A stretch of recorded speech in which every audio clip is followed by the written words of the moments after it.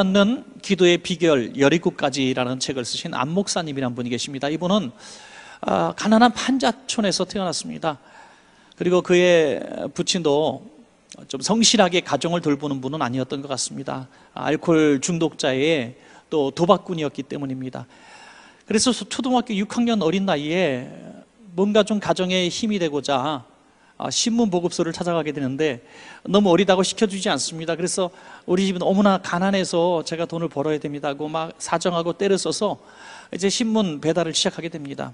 그런데 오래 가지도 못하고 그 다음 해인 중학교 1학년 때 어, 새벽에 신문 배달 나갔다가 불행하게도 큰 덤프 트럭에 이렇게 어린 소년이 사고를 당하게 되고 그 사고로 왼팔 하나를 어, 절단하게 됩니다. 잃어버립니다. 그리고 온몸은 만시창에 되고 간신하, 간신히 목숨만 건지게 됩니다. 여러분 중학교 1학년 그 민감한 나이에 한 팔을 잃고 그 가난 때문에 신문 배달하다가 그 온몸이 망가졌으니 무슨 삶의 희망이 있겠습니까? 아, 절망하고 있는 그때에 그를 다시 세워준 것은 다름 아니라 그가 하나님 앞에 와서 예배했던 순간들이 있었기 때문입니다. 그는 이 모든 절망과 분함과 슬픔을 가지고 날마다 성전으로 달려가서 울부짖으며 하나님 앞에 기도했습니다. 그 하나님의 은혜를 구하고 기도하다가 그는 성령을 받고 주님을 만나고 방언도 받고 그는 새로운 삶을 살게 됩니다. 이제 절망도 이기고 희망을 가지게 됩니다. 하나님, 저 공부 좀 잘하게 해주세요라고 공부 잘할 수 있는 지혜를 달라고 기도하게 되고 정말 하나님의 은혜와 또 열심히 공부해서 1등까지 하게 되고 그의 삶에 희망이란 것이 생기기 시작했습니다. 그렇게 열심히 기도하면서 성실하게 열심히 공부하며 살아가는 그 모습을 보고 하나님이 역사하셔서 그를 목회자로 세우시고 그의 중독에 사로잡혔던 아버지가 모든 술과 그런 도박을 끊고 지금은 장로님까지 되셨다는 것입니다, 여러분. 우리는 이런 이야기들을 너무나 자주 듣습니다. 절망 가운데서, 고난 가운데서 주님을 만나고 복을 받았다는 얘기죠. 그래서 어떤 성도님은 제가 이런 큰 질병에 걸린 것이 제게 축복이었습니다. 이런 고난을 만났던 것이 제게 복이었습니다라고 이렇게 고백을 합니다. 그런데 여러분, 한편 가만히 생각해 보면 이것은 꼭 어, 옳은 말은 아닙니다. 사실이 아니기 때문이죠. 여러분 고난과 환란과 아픔이 나를 복주었다, 복되게 했다. 여러분 그것은 꼭 옳지 않습니다. 그렇다면은 이 세상의 모든 고난과 환란을 경험한 사람들은 다 주님을 만나야 하고 복을 받아야 하기 때문이죠. 그러나 우리가 아는 대부분의 사람들은 고난과 환란을 만났을 때 절망합니다. 포기합니다.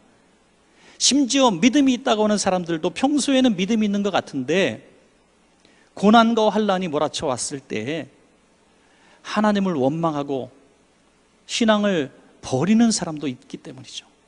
모두에게 고난과 환란이 축복이 되는 것은 아닙니다. 만약 그렇다면 이 땅의 모든 사람들이 고난이 없는 사람이 없기 때문에 환란이 없는 사람이 없기 때문에 다 주님 앞에 돌아와야 되는 것입니다.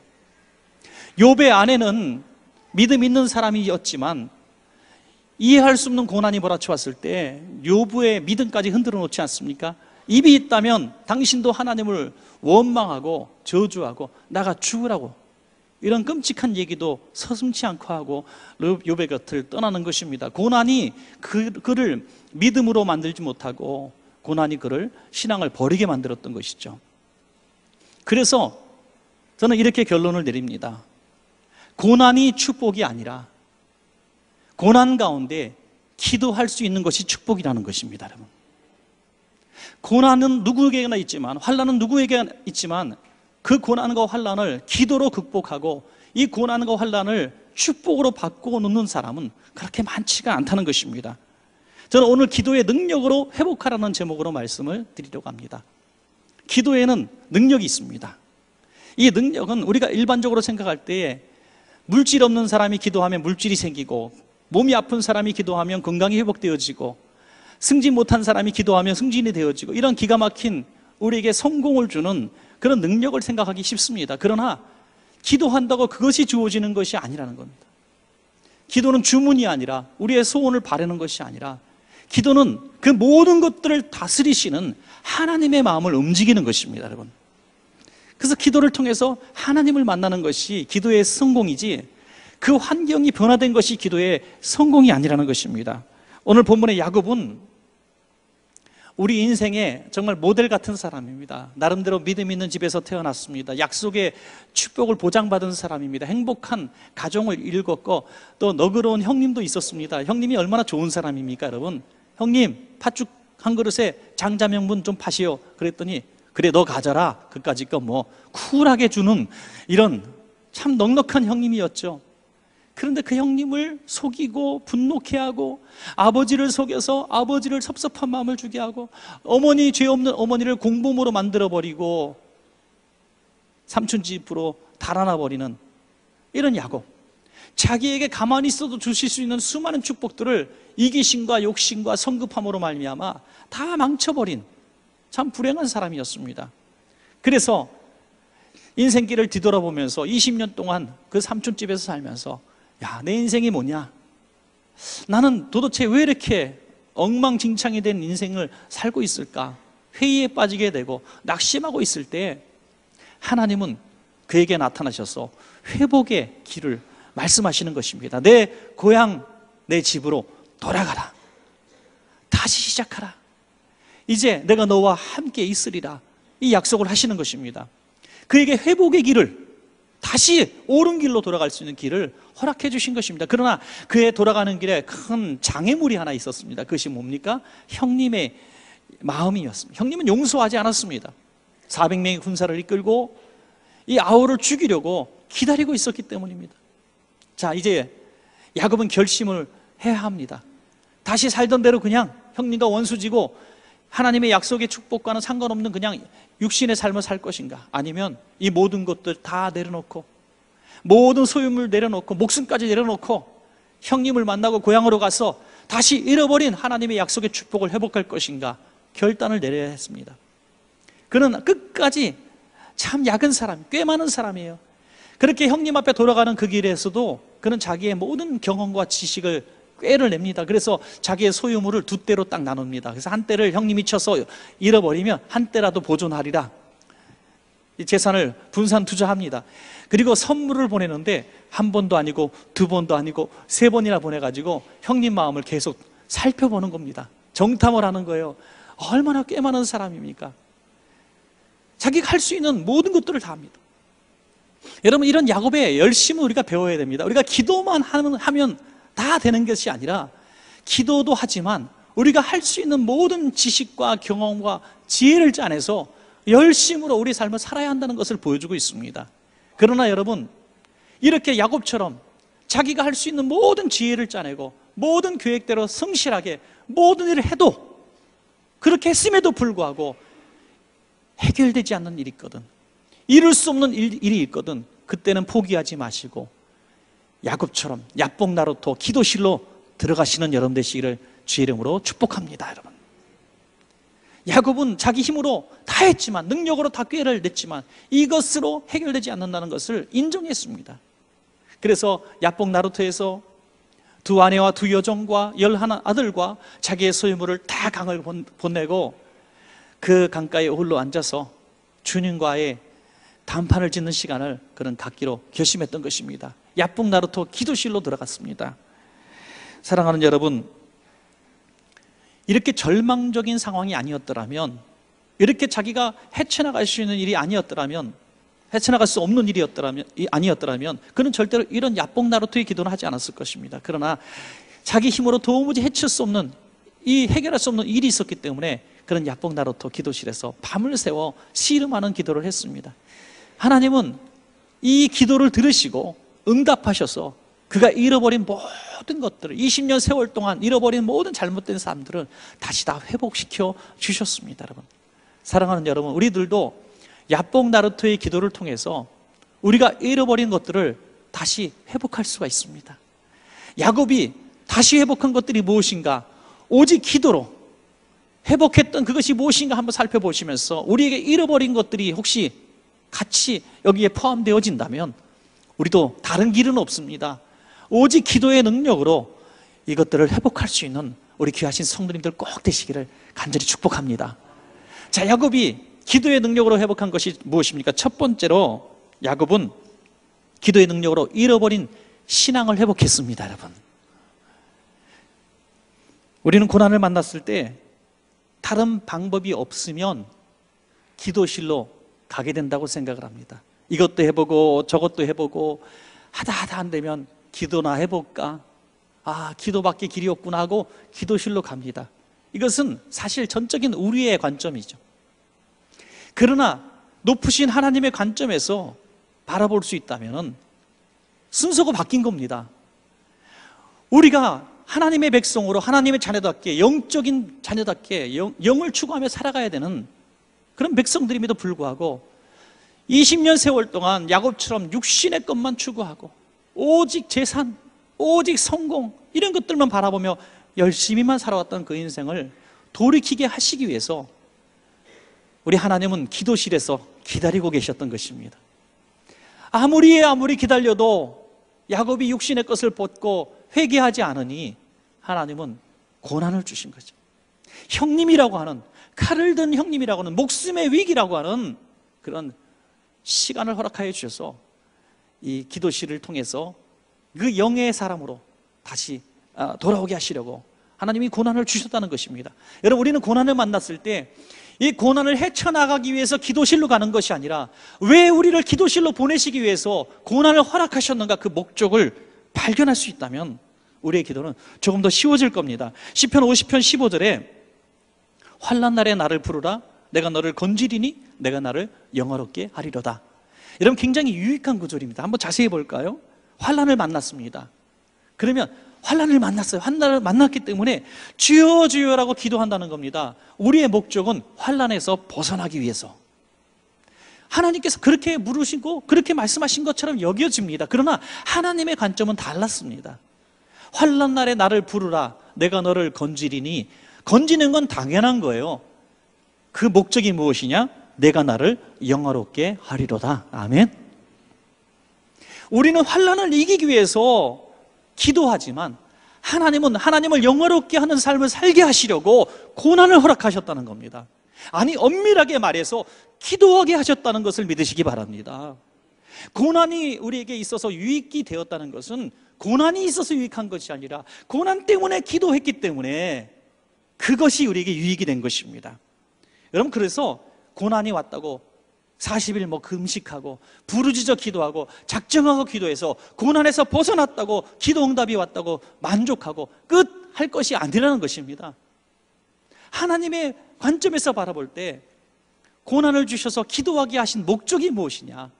다시 원점으로 돌아가고 풍랑에서 잔잔한 다시 우리의 삶으로 안정된 삶으로 돌아가는 것이 목적이 아니라 육신적인 삶을 추구했던 우리가 다시 하나님의 백성으로 돌아와서 하나님을 영화롭게 하는 삶을 살라고 우리가 그렇게 살지 못했기 때문에 고난을 도구로 사용하셨다는 거죠.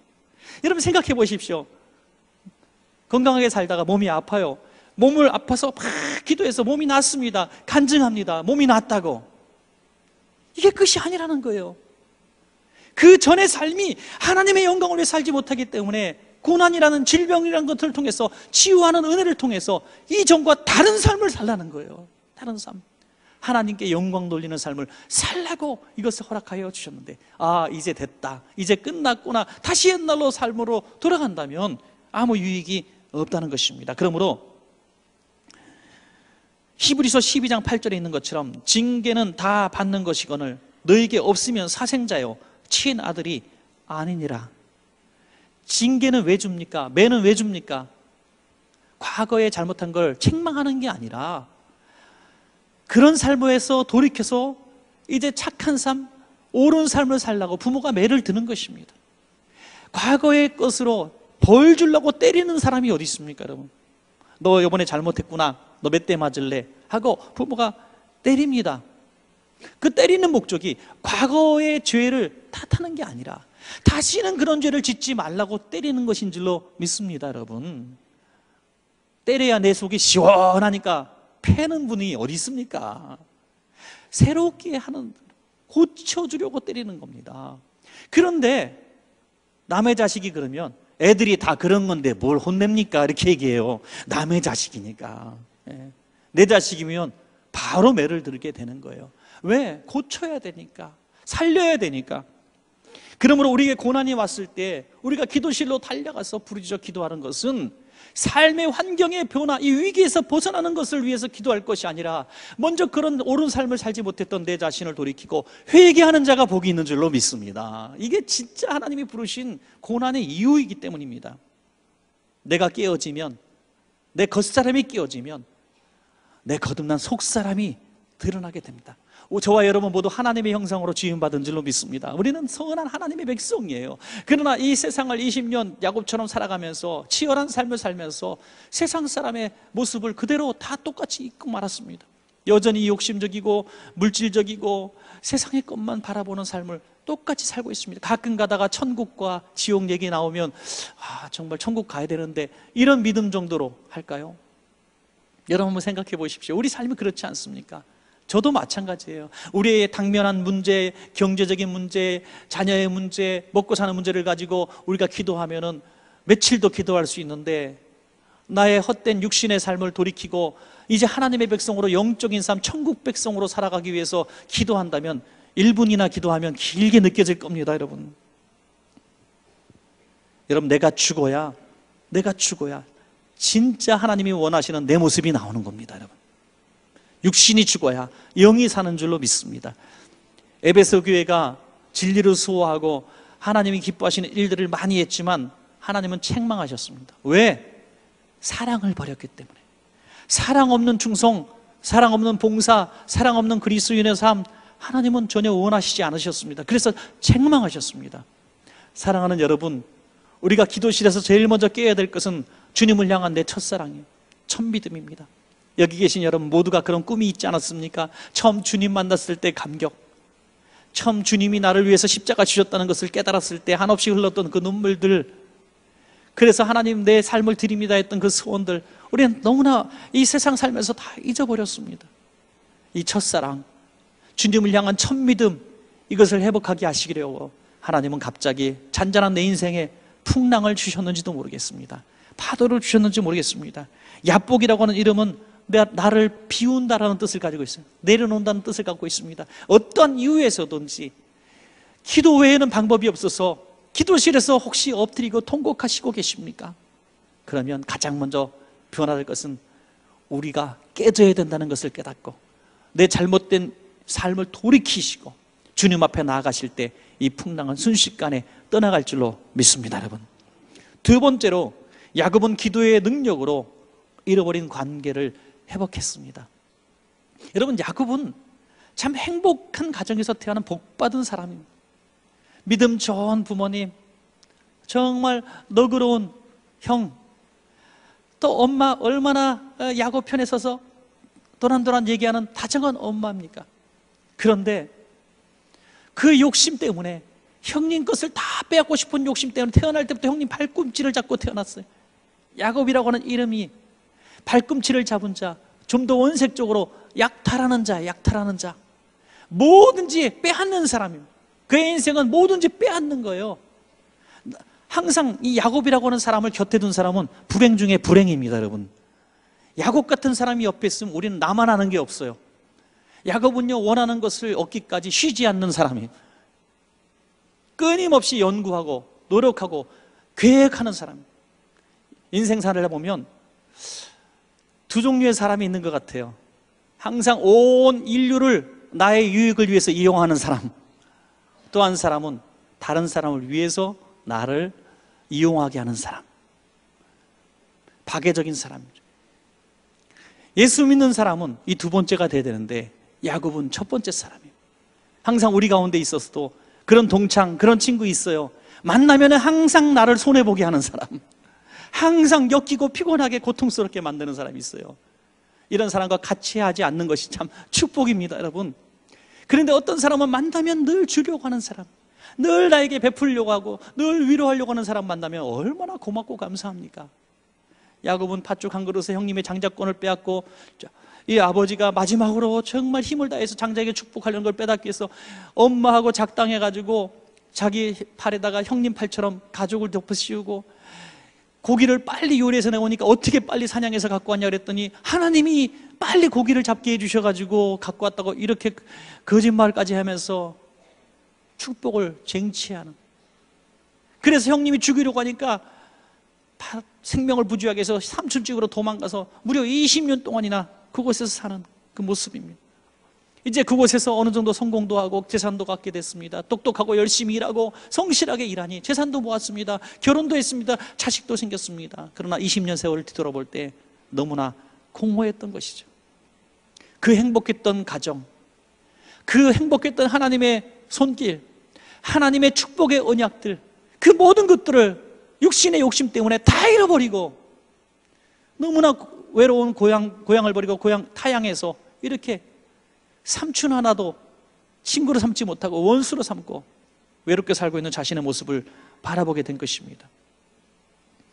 그에게 있어서 관계는 다 등을 돌린 관계밖에 남지 않았습니다. 사랑하는 여러분, 우리가 열심히 살았고 성실하게 살았고 나름대로 성공하는 삶을 살았는데 내 곁에 관계가 다 깨어진 분들은 혹시 없습니까? 부모와 원수되고 형제자매와 원수되고 사랑하는 성도들 간에 원수가 되고 구역 식구들 간에 원수가 되고 믿었던 교우들과 교육자들과 원수가 된 분들은 없습니까? 다 피해의식 속에서 다 나를 도, 등을 돌렸구나. 나는 열심히 산 것밖에 죄가 없는데 왜 다른 나를 이렇게 미워할까? 이렇게 혹시 고민하고 계시는 분은 없습니까? 야뽕 나루터로 가야 할 시간이 온 것을 믿으시기 바랍니다, 여러분. 다른 방법은 없어요. 다른 방법이 없어요. 내 지식과 내 경험과 지혜로 도저히 풀 수 없는 이 인간관계, 이 관계를 푸는 방법은 내가 기도실로 들어가서 그 사람의 마음을 감동시키시는 하나님 앞에 부르짖어 기도할 수밖에 없습니다. 창세기 33장 4절에 형님의 마음이 어떻게 녹아졌는가? 에서가 달려와서 그를 맞이하여 안고 목을 어금 맞추어 그와 입 맞추고 서로 우니라. 아멘. 나를 죽이려고 400명 군사를 이끌고 20년 동안 칼을 갈았던 형님이 도대체 무슨 일이 있었기에 일순간에 마음이 변하여 달려와서 그를 끌어안고 사랑하는데 아우야 하고 통곡하며 형제를 나눌 수 있을까요? 이것은 내 새치허나 어떤 보낸 물질이나 이것이 아닙니다. 형님에게 셋대로 보냈던 물질은 형님이 거절해서 받지도 않아요. 형님도 부자기 때문이죠. 어떻게 이런 역사가 일어났습니까? 야뽕 나루토에서 통곡하고 울 때에 하나님의 형님의 마음을 변화시키고 야곱을 용서하심으로 형제가 다시 회복되어지고 가정이 회복된 것입니다, 여러분. 사람의 마음을 변화시키는 능력도 기도실에서 나옵니다. 기도실에서. 우리 자녀들이 사춘기가 되어서 엄마 마음, 아빠 마음 너무나 아프게 할 때가 많이 있어요.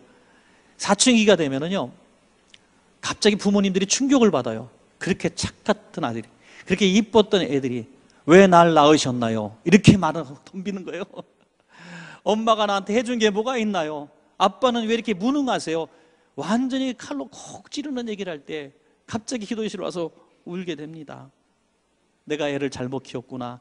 아니에요. 제대로 키우신 겁니다. 다 그래요. 예, 다 그래요. 사람의 마음을 내가 어떻게 만질 수 있겠습니까? 그렇게 다정했던 부부 관계가 깨어질 수도 있고, 부자 관계, 모녀 관계가 깨어질 수도 있습니다. 그렇게 살갑게 지냈던 구역장님, 구역 식구, 내 기관 식구가 갑자기 철천지 원수처럼 나를 피눈물 만들게 하는 이야기를 할 때도 있습니다. 그럴 때에 이 문제를 인간적으로 풀지 마십시오.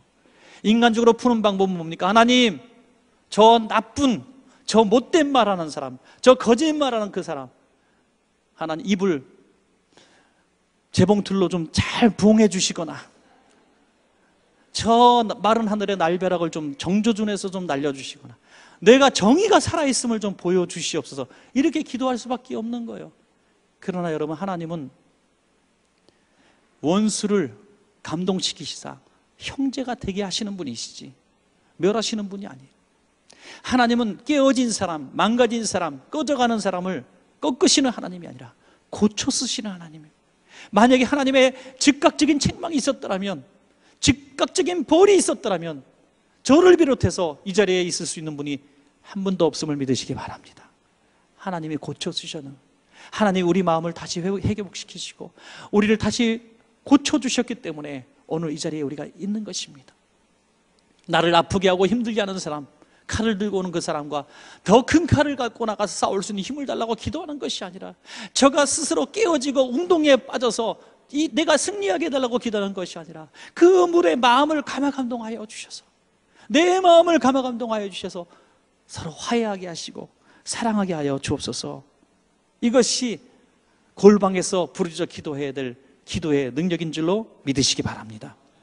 마지막 세 번째는 야곱은 기도의 능력으로 잃어버린 축복을 회복한 줄로 믿습니다, 여러분. 야곱에게는 하나님께서 약속하신 놀라운 축복들이 있었습니다. 그냥 그 집에서 잘 살면서 믿음으로 잘 양육받으면 그는 아브라함과 이삭과 야곱의 하나님이라는 그 이름대로 정말 멋진 신앙의 전통을 이어갈 수 있었습니다. 그러나 자기의 성급한 욕심 때문에 주시기 전에 막 가서 빼앗는 그 욕심 때문에 이렇게 삐뚤어진 인생을 살아서 욕심대로 살아서 주시기로 작정한 축복들마저 이렇게 다 잃어버리고 말았던 것입니다. 그래서 그가 언제 하나님 앞에 다시 깨닫고 하나님 제 비전을 회복하기를 원합니다라고 기도했습니까? 바로 집을 떠나서 달아나다가 사다다리를 통해서 오르락내리락 하는 천사를 만났을 때 서원의 기도를 합니다. 창세기 28장 20절부터 보면 야곱이 서원하여 이르되 하나님이 나와 함께 계셔서 내가 가는 이 길에서 나를 지키시고 먹을 떡과 입을 옷을 주시어 내가 평안히 아버지 집으로 돌아오게 하시오면 여호와께서 나의 하나님이 되실 것이요 내가 기둥으로 세운 이 돌이 하나님의 집이 될 것이요. 하나님께서 내게 주신 모든 것에서 10분의 1을 내가 반드시 하나님께 드리겠나이다 하였더라. 얼마나 아름다운 서원입니까? 그런데 이런 서원은요 아무것도 없을 때는 할 수 있어요. 아무것도 없을 때는 할 수 있습니다. 그러나 있을 때는 이 소원이 어디 갔는지 다 사라져 버리는 거예요. 참 희한하죠? 아무것도 없을 때는 하나님 제게 복을 주시면 내가 하나님 앞에 큰 거 드리겠습니다. 제가 보니까 로또 복권 사다 놓고 제일 그런 게도 뻥기도 많이 하시더라고요. 하나님 당첨되면 90%를 건축헌금으로 드리겠습니다. 그런데 번호가 자꾸 맞아가. 하나님 50%, 30%, 20%, 11조 내는 것만 받으세요. 이렇게 떨어지는 거예요. 그러다가 꽝이 딱 됩니다. 마지막 세 개 다 틀려. 그러면 아이고 하나님 고생 못 참으시고 예? 드리려고 했는데 우리가 그런다는 거예요. 우리 인생이 그렇다는 거예요.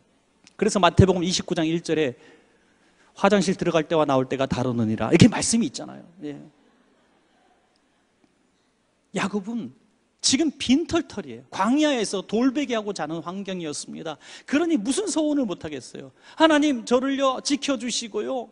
하나님 저게 먹을 떡을 좀 주시고요. 입을 옷도 좀 주시고요. 안전하게 저를 지켜주시면 내가 고향으로 돌아올 수 있기만 해주시면 내가 평생을 하나님 앞에 드리고 내가 소득의 10의 1조도 하나님 앞에 꼬박꼬박 드리고 내가 이곳을 하나님의 성전으로 짓겠습니다. 어마어마한 약속을 했어요. 그런데 지금 야곱은 다 가지고 있거든요. 이미 거부가 되었습니다. 자식들도 있어요. 옷 한 벌 두 벌이 아니라 집도 있어요. 자식들도 있고 아내도 있어요. 이제 얼마든지 돌아가서 약속한 대로 소원대로 해야만 했습니다. 그러나 하나님이 부르시기 전까지 그는 집으로 갈 생각도 하지 않았어요. 사랑하는 여러분, 우리에게 이런 소원과 비전들이 먼지 가득한 선반 위에 있는 분들이 혹시 없습니까? 저는 우리 성도님들의 많은 과거의 추억들을 보면 주님 처음 만난 대학 시절 얼마나 하나님 앞에 내 인생을 드리기로 소원합니까? 비전을 얘기를 합니까? 땅 끝이라도 가겠다고 말하지 않았습니까? 처음 집사님 직분 받을 때, 처음 우리가 중직자 직분 받았을 때, 처음 목사 가운을 입었을 때, 하나님 내가 이렇게 하나님 앞에 살겠습니다. 얼마나 많은 헌신을 했습니까? 그러나 이것 조금 준비 기간이 있습니다. 이것 좀 주시면 저것 좀 주시면 학교를 좀 잘 졸업하게 하시면 내가 승진하게 하시면 집 하나 사게 하시면 하다가 20년, 30년 이렇게 주님 앞에 가기에 직전에 서 있는 내 모습을 바라보는 것이죠. 여러분 하나님이 우리를 다시 부르셔서 생명의 위협을 느끼는 그 집으로 돌아가게 하시면서 야뽕나루토의 기도실로 몰아넣는 것은 우리를 야 이놈아 너 약속한 거 지켜야지 꾼돈 줘 받으려고 하시는 것이 아니라 하나님이 야곱에게 주셨던 그 어마어마한 축복의 비전을 이루지 못하니까 이루게 하시려고 축복하시려고 그 고난의 기도실로 몰아 넣으신 것을 믿으시기 바랍니다. 그러므로 우리에게 이런 고난과 축복이 같이 동시에 오는 것입니다. 그 기도실에서 우리 잃어버린 축복들을 다시 회복하게 되는 것입니다. 그래서 그 축복을 놓치지 않기 위해서 야곱은 깨달았습니다. 이 소원을, 이 축복을 지키지 못하고 얻지 못하는 내 자신을 깨닫게 하시려고 기도실로 부르신 것을 깨달았다는 증거가 있습니다. 창세기 32장 26절에 그가 이르되 날이 세려하니 나로 가게 하라. 야곱이 이르되 당신이 내게 축복하지 아니하면 가게 하지 아니하겠나이다. 이제 야곱은 깨달은 거예요. 형님을 이기는 게 축복이 아니라 내 생명을 부지하는 게 축복이 아니라 당신의 축복이 내 기도 제목이 되었습니다 하는 거죠. 여러분 아무리 절망적인 상황 가운데 있다 할지라도 하나님의 약속의 말씀이 주어지면 내 것으로 아멘하고 꼭 붙드시기 바랍니다. 이거 붙들어야 되는 거예요. 축복의 말씀을 붙드세요. 어떤 분은 너무 축복 축복 얘기하니까 교회에서 맨날 축복 얘기를 하고 축복에 아멘한다고 어? 사명에, 사명에 대해서도 아멘하라고 이렇게 얘기하고 그렇기도 하는데 뭐 옳은 말이기도 합니다. 그러나 하나님의 말씀은 책망의 말씀도 아멘이요. 축복의 말씀도 아멘인 줄로 믿으시기 바랍니다. 하나님의 말씀이기 때문에. 야곱은 지금 이 기도실에서 깨달았습니다. 자기가 사는 비결, 하나님께 복받는 비결은 누가 세상 그 누가 어떤 환경의 변화가 아니라 바로 하나님 자신이 주시는 그 축복인 것을 깨달았던 거죠. 기도 받게 할수 없는 게 아니라 기도 외의 방법이 없기 때문입니다, 여러분. 이제 날이 밝았지 않습니까? 변한 건 없어요. 변한 건 없어요. 그러나 그는 당당하게 일어나서 형님 앞으로 나아가게 됩니다. 왜? 밤에 하나님의 얼굴을 배웠기 때문에. 하나님과 사람으로 더불어 이기었기 때문에 당당하게 일어날 수 있었습니다. 그래서 분예엘의 아침입니다. 분예엘이 뭡니까? 하나님의 얼굴입니다. 여러분 깊은 절망의 슬픔에서 그 어두컴컴한 기도실에서 통곡하고 울다가 하나님의 얼굴을 배우면 환경은 여전히 암흑 같고 문제는 풀렸지 않았지만 내 얼굴이 희망과 기쁨으로 축복으로 가득 차게 되는 것을 믿으시기 바랍니다. 기도의 능력은 야복 나루터를 끔찍한 야복 나루터를 사망의 음침한 골짜기를 분예로 하나님의 얼굴로 하나님의 축복의 땅으로 바꾸는 능력이 있다는 것입니다. 그는 이 복을 다 회복하게 됩니다. 집으로 돌아가서 원수 맺었던 20년간 원수 맺었던 형님과의 관계가 회복되지 않습니까? 하나님이 주시기로 했던 자손의 축복 받지 않습니까? 하나님이 약속하신 많은 하나님의 성전을 세우는 베델의 축복을 받지 않습니까? 그는 약속하신 복을 다 받아요. 특별히 저는 야곱이 받은 회복의 축복 중에 하나는 그 아들 요셉의 축복이라고 믿습니다. 그의 아들 요셉을 특별히 야곱은 사랑했습니다. 그러네, 그런데 어느 날 이 아들을 잊어버립니다.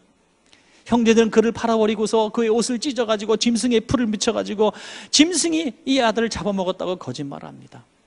야곱은 얼마나, 얼마나 슬펐겠습니까? 가장 사랑하는 아들이 피투성이 옷, 옷만 갖고 왔을 때 얼마나 괴로웠겠습니까? 하나님 분명히 이 자식을, 자식을 통해서 세계 만민이 복을 받게 하시겠다고 약속하지 않으셨습니까? 그 축복의 약속은 어디 갔습니까? 라면서 참 슬퍼했을 겁니다. 그러나 제가 이 부분을 살펴보면서 성경을 다시 뒤집어 봤더니 그럼에도 불구하고 야곱은 하나님을 원망하지 않았습니다. 그리고 바로 세, 세월은 넘어갑니다. 언제 요셉이 총리가 되어서 정말 하나님이 주셨던 원래의 축복대로 내 자손을 통하여 세계 만민이 복을 받으리라. 요셉이 없었으면 이 70명의 야곱의 가문은 굶어 죽었을 겁니다.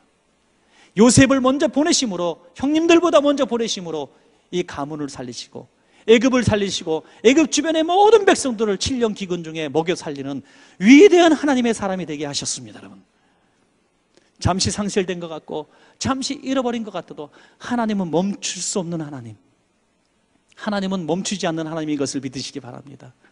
제가 잘 아는 유 목사님이란 분이 하루는 집에서 책을 보면서 설교 준비를 하고 계셨답니다. 그런데 사모님이 여보 오늘 저녁 뭐, 뭘 드시고 싶으세요? 라고 물어봅니다. 그래서 뭐 지금 뭐 하고 있는데? 라고 물어봅니까? 뭘 하려고 했는데? 라고 물어봅니다. 그랬더니, 어, 카레라이스를 좀 하려고 해요. 그랬대요. 근데 이 목사님이 다른 건 다 좋아하는데 스리랑카에서 카레를 하도 질리게 드셔가지고 카레만큼은 먹고 싶지 않았대요. 그래서 카레만 빼고 뭐 없어? 그랬더니 금식하세요. 그러더래요. 사모님. 아, 그리고 영 기분이 좀 불편하고 설교 준비가 안 되는 거예요. 그래서 목사님이 그래도 내가 카레만 빼고 다 된다 그랬으니까 뭐 다른 거 뭐 하지 않나 이렇게 살짝 기대가 돼서 이렇게 가서 뭐 하나 주방에 엿보았답니다. 근데 뭐 이 답을 모든 여성분들은 알고 있대요. 남자들만 몰라. 여성분들 뭘 하고 있었어요? 카레를 하고 있답니다. 예. 남자는요 그렇게 바보 같은 거야. 내가 얘기했으니까 다른 걸 하고 있겠지. 천만에 여자는 한 번 생각한 걸 굽히는 법이 없어요. 그래서 깨달았다는 거예요. 야, 주는 대로 먹지 않으면 굶어야 되는구나. 어. 이게 살아가는 비결인 것을 깨달았어요. 버림받지 않는 비결. 예. 여러분, 하나님은 한 번 작정하신 축복을 변개치 않으신 하나님. 주시기로 한 축복을 반드시 주시는 하나님. 약속하신 말씀을 반드시 지키시는 하나님. 그 말씀을 붙들고 순종하는 것이 우리의 복이지. 바꾸거나 공격하거나 거절할 수가 없다는 것입니다. 하나님이 약속하신 축복을 다시 회복하는 방법은 내가 하나님 편에 서는 겁니다. 하나님께 맞춰주는 것입니다. 그것은 기도실이 아니면 갈 수 없는 길이라는 거예요. 사랑하는 여러분, 이 회복의 은혜, 합력하여 선을 이루시는 이 은혜를 기대하고 사모하시면서 오늘도 기도실에서 눈물을 흘리시는 여러분 되시기를 축복합니다. 말씀을 맺겠습니다. 우리 인생길에 신앙생활 잘한다고 생각하는 평범한 날들 중에서도 예기치 않은 고난이 우리에게 주어집니다. 많은 분들이 내가 뭘 잘못했나? 하나님 앞에 내가 무슨 죄를 져서 그런가? 하나님 왜 나를 미워하시나? 이해할 수 없다고 하나님 앞에 나가서 기도할 때도 원망 섞인 기도를 할 때가 많습니다. 그러나 오늘 이 고난을 주신 목적이 무엇인지 우리는 선명하게 깨달았습니다. 야복 나루터 기도실로 갑자기 20년 평범하게 살고 있던 그를 몰아넣으신 것은 회복해 하시려고 부르신 것입니다. 이 기도실을 통해서 그는 첫사랑, 첫신앙을, 첫 믿음을 회복하게 되었고 형님과의 그 깨어진 원수 관계를 다시 형제 관계로 회복시켜 주셨고 하나님께서 주시기로 또 약속하셨던 잃어버렸던 수많은 축복들을 다시 붙드는 축복의 시간이 되었습니다. 사랑하는 여러분, 우리 원촌교회 지하 1층에 기도실이 있지 않습니까? 지하 한 층에도 있고 옥상에도 있습니다. 저는 오늘 이 설교 이후에 변화된 우리 성도님들의 모습을 보기를 원합니다. 기도실을 사랑하십시오. 기도실에서 기도하는 우리의 모습을 보이십시오. 그 길이 능력이고 우리를 회복해 하시는 하나님의 축복의 길인 줄로 믿습니다.